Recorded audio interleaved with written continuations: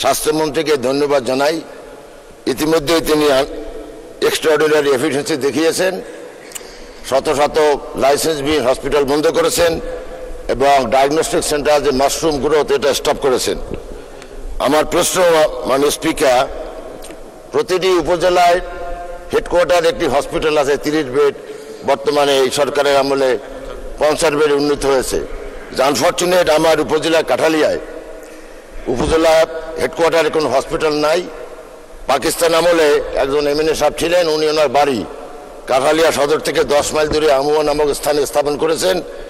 আগে যখন আমি সংসদে ছিলাম, আমি উত্থাপন করেছিলাম এবং বিশ বেডের একটা সাব হসপিটাল করার জন্য টেন্ডার হয়েছিল। আনফর্চুনেটলি এইটা বাস্তবায়ন হয়নি।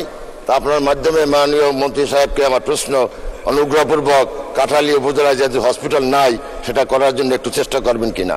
ধন্যবাদ।